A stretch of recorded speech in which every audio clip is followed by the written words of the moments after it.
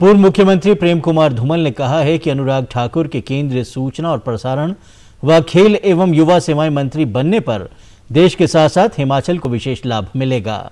अनुराग ठाकुर के पैतृक गाँव समीरपुर में बधाइयों का सिलसिला अभी भी जारी है। प्रेम कुमार धूमल गर्मजोशी से लोगों का स्वागत कर आभार प्रकट कर रहे हैं। धूमल ने कहा कि अनुराग ठाकुर को खेलों के उत्थान के लिए भी ज़िम्मेदारी दी गई है। उन्होंने कहा कि अनुराग ठाकुर ने हिमाचल के लिए खेल क्षेत्र में पहले ही बहुत कुछ किया है और अब और अधिक लाभ मिलेगा।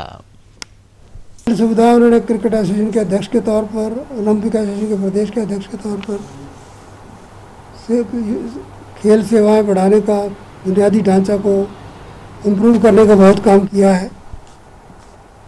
अब राष्ट्रीय स्तर पर भी होगा और इतना बड़ा राष्ट्र पहले जो एक एक मेडल के लिए तरसता था, जब से मोदी जी आए, तब से उसमें सुधार हुआ।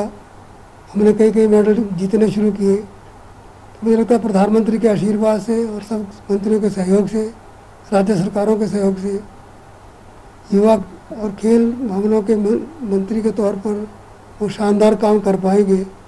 और युवा पीढ़ी के पैंसठ परसेंट लोग हमारे युवा हैं तो उनकी भलाई के लिए और अच्छा काम होगा।